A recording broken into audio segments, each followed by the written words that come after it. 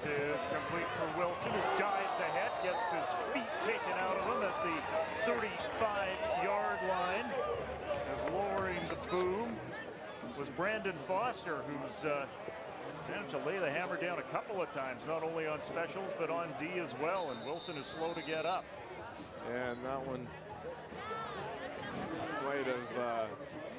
hit him where the sun don't shine, but uh, hopefully he'll be all right coming off laying that the hammer down.